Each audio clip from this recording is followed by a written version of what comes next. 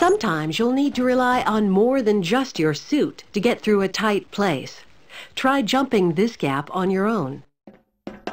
What you really need to do is push that box down into the pit. Pushing is easy. Just move forward against the box and you can push it into position.